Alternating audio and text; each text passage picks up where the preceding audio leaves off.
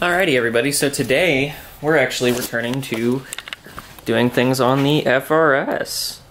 Um, you know what the title is. It's the new steering wheel. The thumbnail is the new steering wheel. Um, so basically what we're going to be doing is I'm going to be showing you how to do it. First off, you do need to disconnect the battery. That's the smartest thing to do, um, especially when working with electronic stuff. Especially airbags. Don't want to have that blow up on you. So yeah, disconnect that, give it some time, and then uh, I'll meet you in the car. All right, so it's easier to show you with my phone for this because you got to get into tight spaces, but right back there is one of the clips. Let me not fall over. Right back there, in there is one of the clips. You got to put a flathead screwdriver in. There's one on the bottom of the steering wheel, right there. And then there is one on the side of the steering wheel, right back there. So then once you get those done, the airbag will um, like loosen and this will start to come out. So then we can pop this out. All right, and then once you take that out, there's these little clips right here that you need to pull up on. Um, just get the screwdriver under those, like this, and just lift them up. And then you can remove these here. You do want to be careful, you don't want to damage any of these, so I can't really hold it. Um, I'll just get back to you in a second.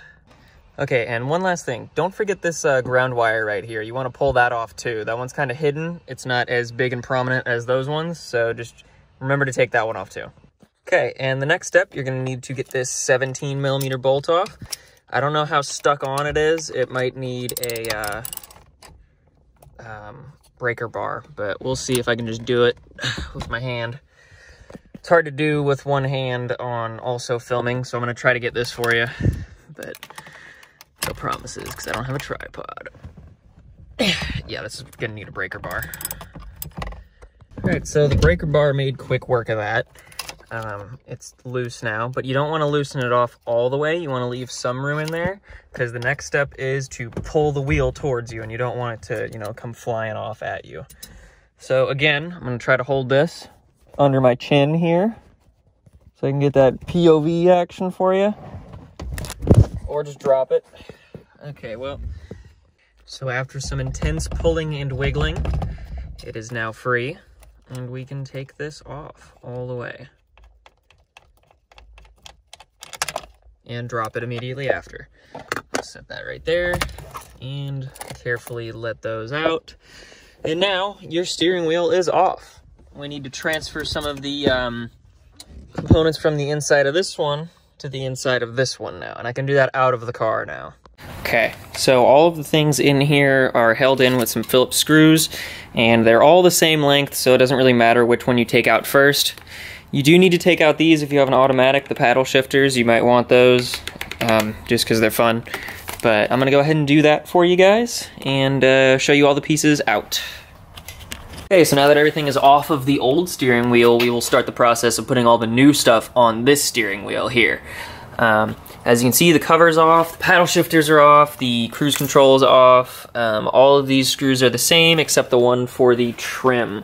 The trim piece over here uses these screws. They don't have a washer on them, so they're the only different ones, but other than that, all of those screws are interchangeable. So it doesn't really matter, they're all the same length. Okay, so I've moved over here to my workbench to try to install the rest of it. Miata's kind of in the way, I don't know if I can get a really good angle, but that's probably as best as it's gonna get. Um, so what you're gonna do with this weight right here is this is supposed to go towards you, the uh, rubberized part. That's how it looked on mine when I took it off. So that goes right like that. There's two locator pins that hold it in. So all you gotta do is screw these in It's pretty much all the same as uh, taking it off, just in reverse. But I don't think I got to show you it because I was struggling with it. Because that's a lot of what I do, struggle. So now that that's on, it's all good. Um, we get to put, To go ahead and put the uh, plastic trim pieces back on. So, they connect Wait, maybe I should put, yeah, I need to put the trim pieces back on first. So these the plastic pieces here are held on by two screws, and they are the same screws. So this is what does that. See if I can line that up. There's a little hole that locates down here. Um, right there. Right there is where this is supposed to go. So you want to push that in, and then you can screw in these two here. And those two are the screws that do not have washers attached. So, did that even focus? I can't really see the camera. These two. So I'm gonna go ahead and put those in there. And it's starting to look more like an actual steering wheel already, but you know, we're gonna get there. You screw that down. And then now it's starting to look pretty good. Um, we just need to put all of the accessories in. So like the, so next I'm gonna put in the shifting paddles, which can only go one way, and they just fit right in there. So you don't have to worry about putting the reverse or the upshift or downshift backwards because they can only go in one way. Because God knows I'd find a way to do it the wrong way. It's just how things work. It's a, it's a miracle how I got the Miata running, honestly. That video is coming soon, by the way. It's just taken a while. Because I have a bunch of clips over like six months of trying to find them, so that's why I'm working on the FRS right now. Just so I could get a quick video out. And because I really want to test out this steering wheel. I got it for Christmas. Thank you, Mom and Dad, for blessing me with this. Let me go ahead and put those cables back in there. There's like a little bracket right here that this blue one goes under, so just lift that up. Careful not to break it. I don't think it really matters, it's just being held in. And now you've got your paddles back on. And what else? The cruise control. I think that's the last thing that we need before we can go ahead and put this back in. So the cruise control here. This just slides in through this hole. It's kind of awkward, but slides right in. Eventually. Yeah, see? And then once you get this in, it's not that difficult. I'm just trying to film it as well. You can go ahead and line it up with this little locator pin here. And then the blue cable from the shifter will go right in there. It goes around that little bracket so that it's not in the way and it'll actually, you know, like fit in. And now you don't want to get all the other cables like pinched by this, so you kind of gotta, again, give it some good finagling like that. Now that these cables are out of the way and not gonna get pinched down, I can screw in the cruise control with our two remaining bolts. Nuts. Screws. I know the word. I promise. And then, where'd that other screw go? Don't tell me it fell on the floor.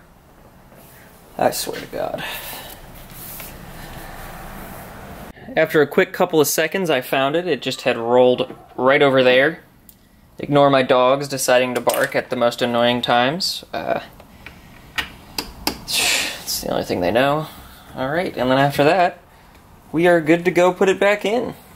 Alright, now that we are back in the FRS, um, since the wheel was a little bit cockeyed, or a little bit, I don't know, I might need to get an alignment up.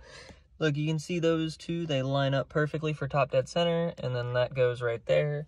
So I just need to fit these back in here.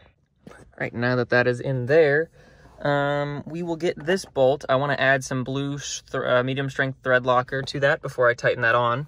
So I'm going to go grab that first. All right, so I shit out a little bit of it there. We're gonna go back in here and stick that bad boy right on. Um, wheel is in place. Let me grab the socket. Okay, so after it's been tightened down, um, I'm gonna go get a torque wrench and check the torque specs to make sure that they are the correct spec because this is a steering wheel. All right, so according to the forums, it is 29 foot-pounds that you want to torque it down to. So I have set the wrench right here to about like, just a little bit under 30, which is about as good as I can get it to. And I'm to go ahead and torque this down just to make sure, and then we can start plugging in these connectors. Yay! All right, and so you make sure that you plug these in here. This one goes right up top to that, and this one here goes right into there. And then we can put the airbag in now. Looks like the paddle shifters are plugged in. That would be that one right there. So if your car is a manual, you probably just don't have that there. That's probably not being used, but let's go ahead and do this. All right, now that we have the airbag right here, we get to plug this stuff back in. Um, starting with the ground, because that one's probably going to be a little harder to install if we forget it. So that just goes right over there to make sure that's nice and snug. All good. And now, once we get these up here, the orange goes to the orange and the black goes to the black. So they just kind of clip right in there once I can line this shyster up like that. It's nice and satisfying click too. So you'll know that it's in. And now we get to go ahead and push this back and get to make sure everything is plugged in one last time. And then you just go ahead and push these in so that you hear all the clicks. And now your new steering wheel is installed. Look at that. All right, so I forgot to film an outro, so that's what this is right now. Um, Hope you guys enjoyed the video. The uh, steering wheel's great. I really love how it feels. Um, the thumb slots especially are super nice. Um, if you've got any questions, comments, any you know feedback, go ahead and leave it in the comments down below. Um, if you liked the video, give it a like. If you didn't, please tell me why. Go ahead and subscribe to the channel. I've got some more stuff coming up for the FRS and some more stuff from the Miata. Another video that I'm working on and editing right now, so go ahead and uh, stay subscribed. Um, see you in the next one. Peace.